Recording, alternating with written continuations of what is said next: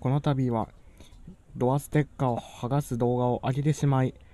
大大なるご迷惑をおかけいたしましたこと、大変申し訳ございませんでした。なぜ剥がしたのか、えー、走行中に起きたからです。えー、謝罪は多大なる大大変ご迷惑をおかけいたしまい、申し訳ございませんでした。